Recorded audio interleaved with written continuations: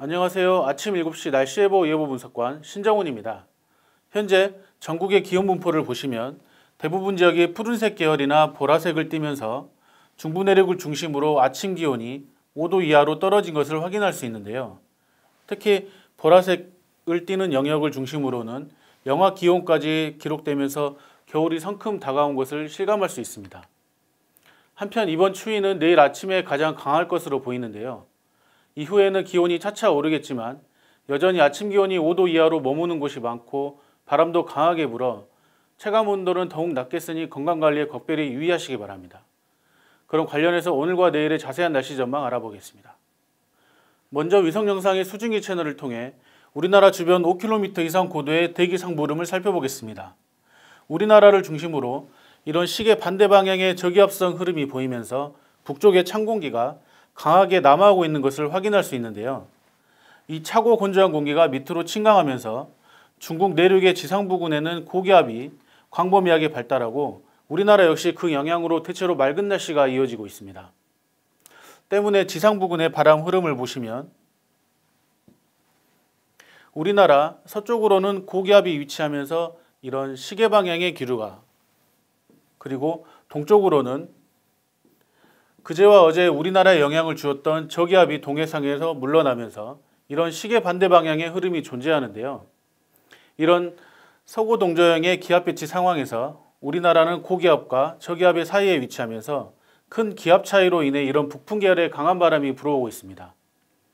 더불어 어제 밤부터 지상 부근의 기온 변화 경향을 보면 북쪽부터 순차적으로 푸른색 계열이 짙어지면서 찬 공기가 남하하는 것을 볼 수 있는데요. 낮 동안에는 햇볕으로 기온이 조금 상승하겠지만 내일 아침까지는 이 찬 공기의 영향이 강해지면서 추위가 계속되겠습니다. 현재 우리나라에 내려진 특보 상황을 보시면 강한 북서풍이 불어들면서 그 영향을 가장 강하게 받는 제주도와 전남 서해안 일부 지역에 현재 강풍특보가 그리고 대부분 해상에는 풍랑특보가 발표되어 있는데요. 또한 어제보다 오늘과 내일 아침 기온이 10도 가까이 더 떨어지고 아침 최저 기온이 0도 내외가 예상되는 경기 북부와 강원 북부 내륙 그리고 강원 산지에는 한파특보가 발효 중에 있습니다. 더불어 오늘 북서풍이 더욱 강화되면서 강풍특보와 풍랑특보는 확대될 가능성이 있으니 앞으로 발표되는 기상정보를 참고하시고 시설물 관리나 안전사고 그리고 해상에서 조업이나 운항하는 선박들은 각별히 유의하시기 바랍니다.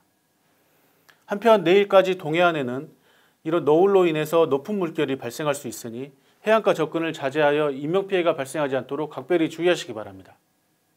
앞에서의 내용을 바탕으로 오늘 아침에 발표된 동네보의 기온 분포를 보시면 오늘 낮 기온은 15도 이하에 머무는 곳이 많겠고 내일 아침에는 전국 대부분 지역에서 5도 내외로 떨어지고 특히 중부 내륙과 경북 내륙 그리고 남부 산지에는 영하권을 기록하는 곳도 있겠는데요.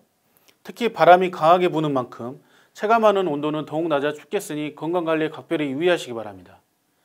또한 기온이 많이 떨어지는 내륙을 중심으로는 서리가 내리고 일부 지역에는 얼음이 오는 곳도 있겠으니 가을철 수확기에 농작물이 얼지 않도록 사전에 대비하시기 바랍니다. 한편 북쪽에서 남하하는 찬 공기가 상대적으로 따뜻한 서해상의 해수면 위를 지나면서 만들어진 구름대로 인해 전라 서해안과 제주도에는 내일 오전까지 산발적으로 빗방울이 떨어지는 곳이 있겠는데요.